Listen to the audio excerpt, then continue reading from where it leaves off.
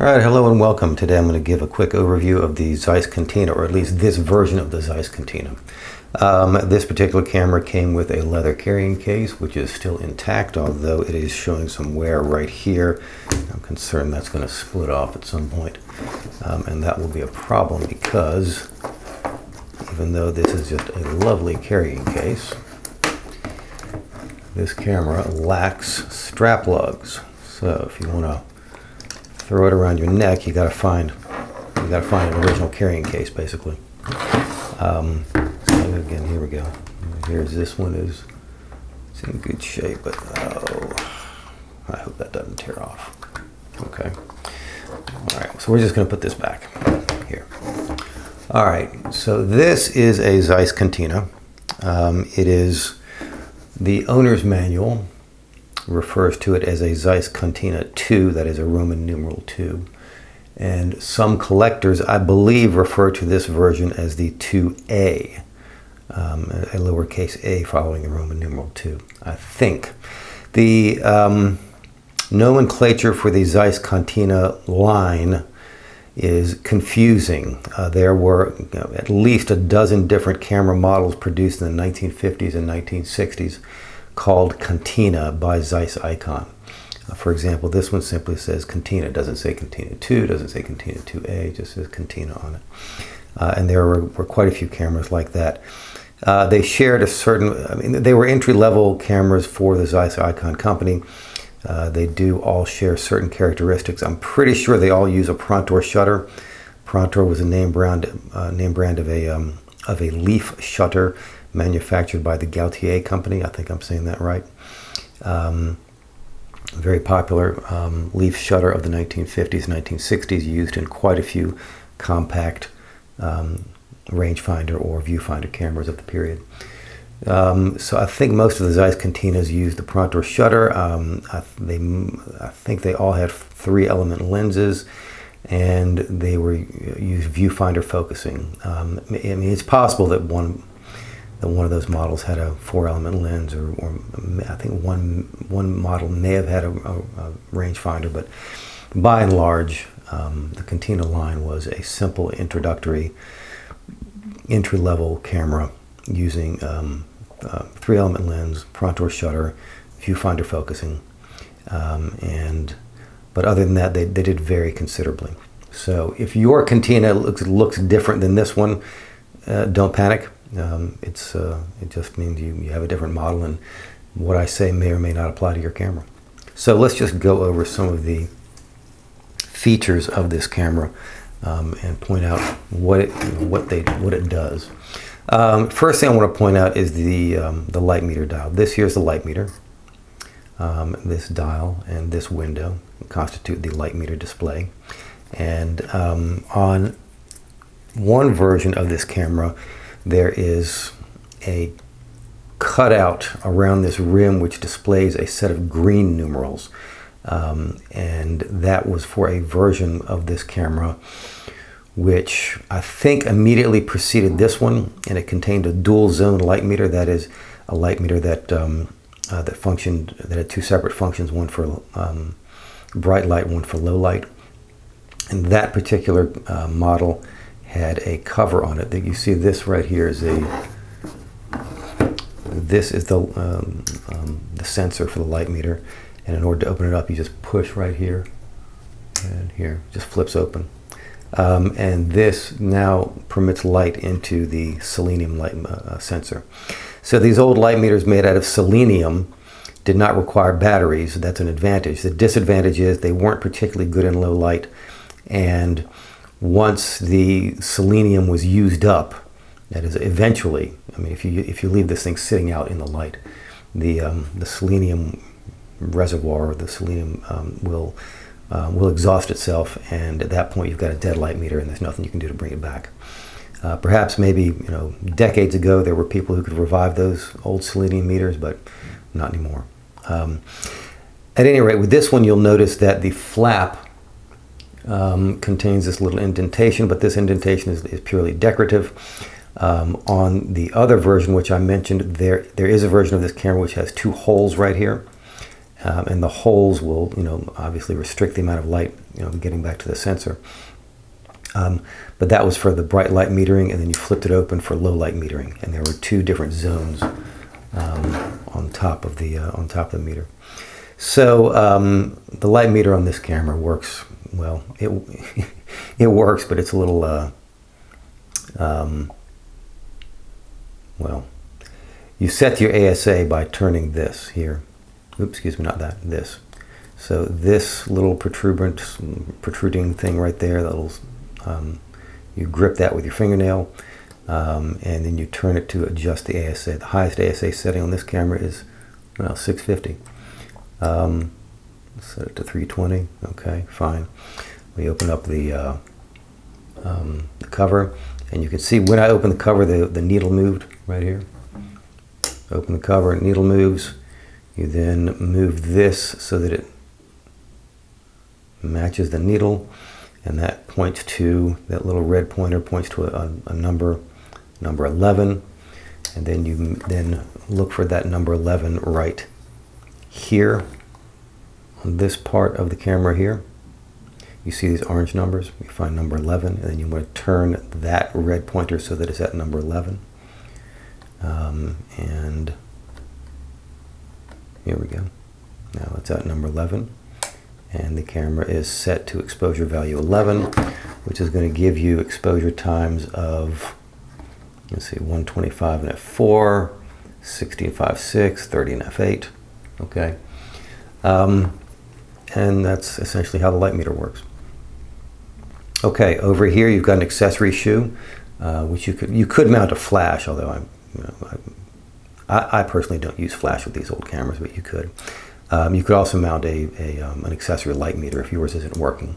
Uh, if you have a, I mean, these cameras are you know, 60 plus years old, so um, uh, uh, don't don't be surprised if your light meter is not working properly. It's no big deal. Um, if, if, frankly, if it, if you get one of these and the light meter does work, consider it a bonus. That's that's, that's my advice.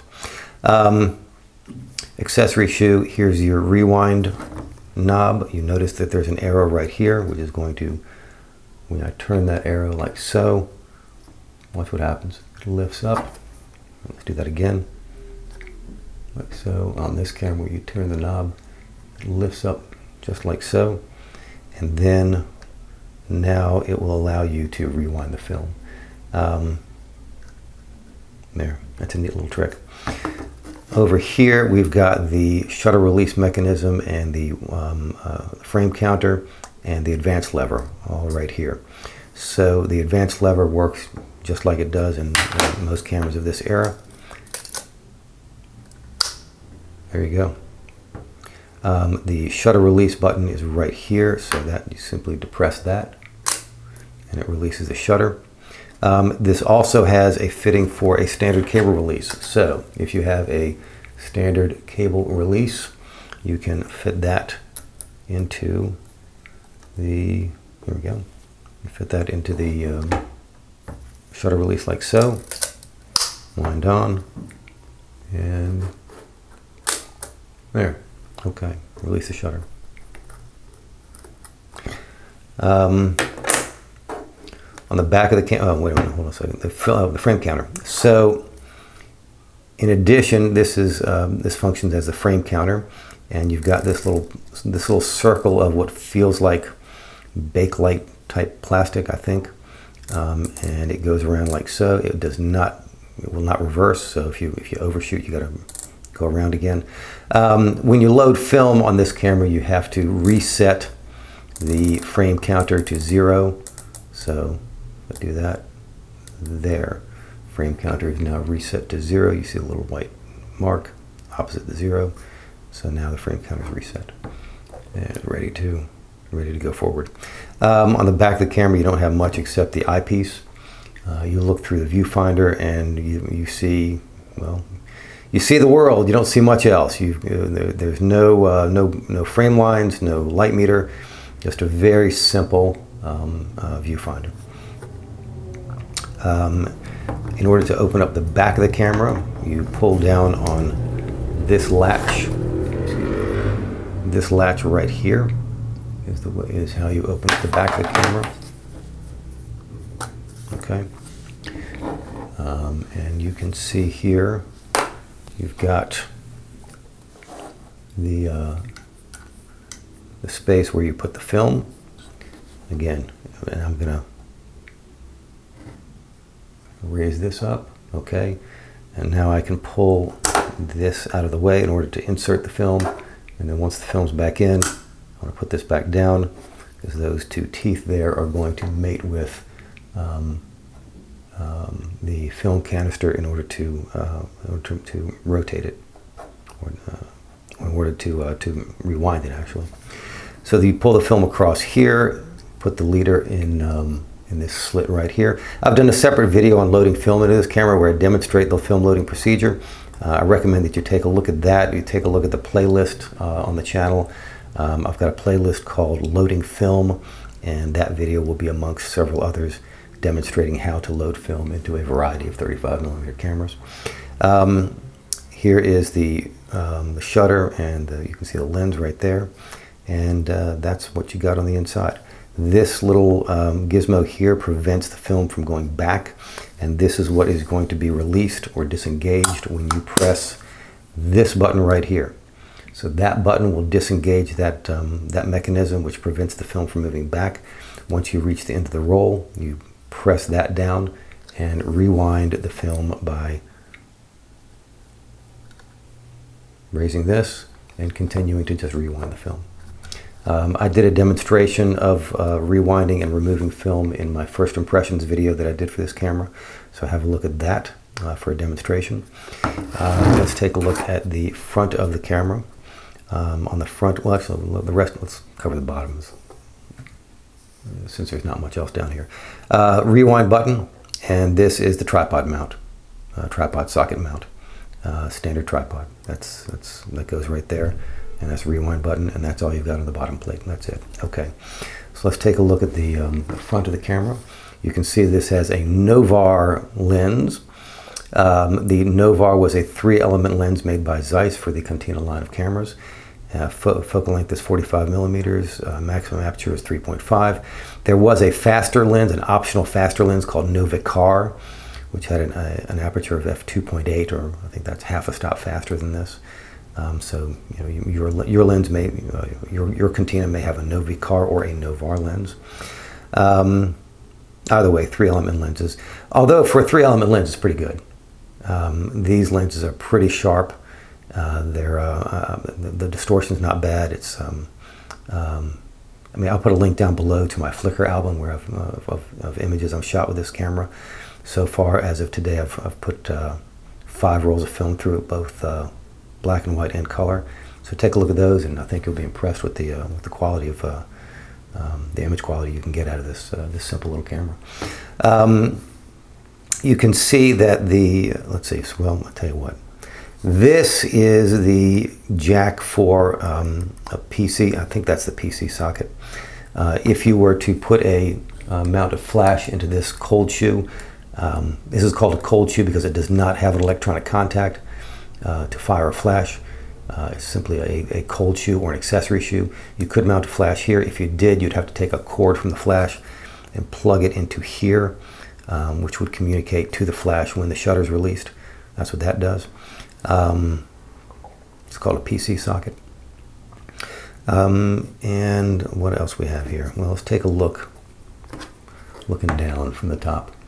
You can see that the aperture range goes from 3.5 to 22.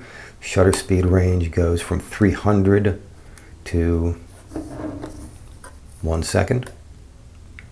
All right. Um, and a quirk of this camera, which I personally am not crazy about, but it is what it is. You see this right here. Uh, you have to depress this in order to change the exposure setting.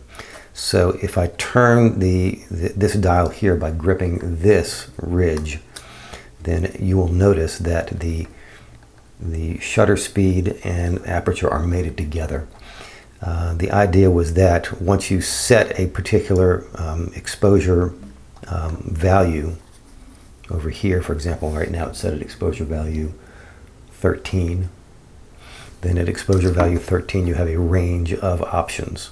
ranging from uh, 1 15th of a second at f22 all the way over to um, 1 300th of a second and somewhere between 4 and 5 6. And you, you can select anywhere within that range by simply turning this. Now if I want to change the, um, let's, let's suppose that I'm not using my light meter and I just want to shoot at 125 and let's say f16. Well, I have to uncouple these two mechanisms, so I have to push this in. And as I push this in now, I can move to 125 and f16. And when I, when I release this again, you see it'll turn here. They'll both turn. They'll both be turning together. So here's one 125 and f4, and that's going to give me a long range of usable um, exposure settings. Again, one quarter of a second f22, one eighth of a second f16, one fifteenth of a second f11, and so forth.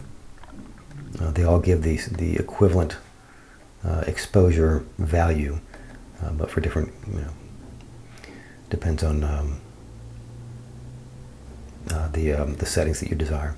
So let's talk about focusing on this camera. Uh, this is a zone focused or hyperfocal focusing camera.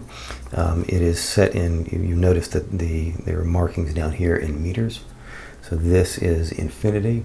I don't know how well you can see this. It's marked at 10, 5, 3, 2, 1.5, 1.2, 1 meter, 0.9 meter.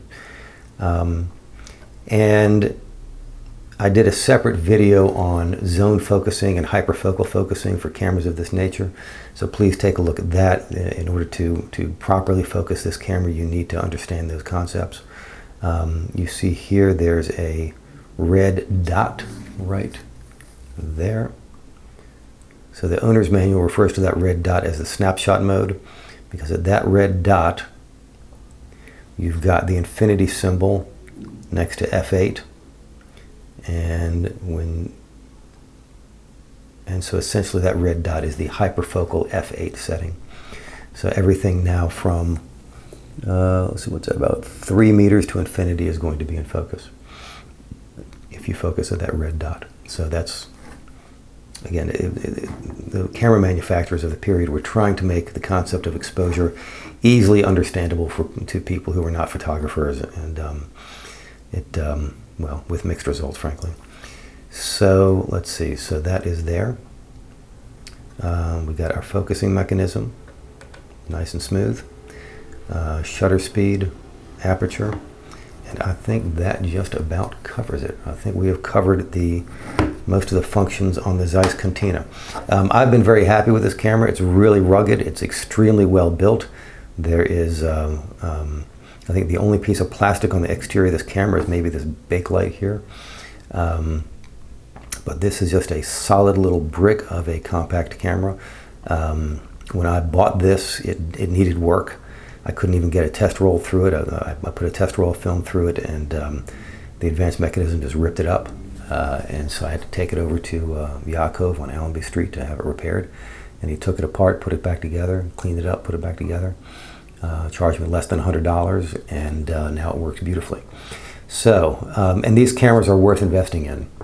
Um, unlike the plastic um, point and shoots of the 1990s that are so popular nowadays because it's, you know, they feature automatic everything, automatic exposure, automatic focus, automatic film advance, and so forth. Uh, when those things break, they're done. Uh, whereas these um, metal body viewfinder cameras of the 50s and 60s are well built, well made, mostly metal, and they are worth investing in. They're worth fixing. And once you once you fix it and um, and, and, overhaul it back to spec, um, this thing will last for a very very long time without the without the need for additional maintenance. Um, and if you're a, a, casual hobby shooter of film photography, uh, that's fine. Uh, that's you, you, you will have a, a, a, good reliable camera that you can use for years and years without having to without having any work done to it. Um, I really think that these these cameras are. Uh, um, I think they'll be around for a while. um, those the, the, the plastic point shoots are, well, anyway, uh, not worth investing in, in my opinion. But you know, you may differ. I just I just don't think so. I'm, I'm I prefer the stuff made in the 50s and 60s, back when um, when consumer products were made of metal and they were built to last. And uh, this one certainly is and certainly does. Okay, so that's what I've got for you today. I hope you enjoyed the video. Um, and um, if you did, please do like and subscribe and check out the links down below. I'll link to the, um, the owner's manual and the, the images I've shot with this uh, camera as well. Um, all right, take care. Have a great day now. Bye-bye.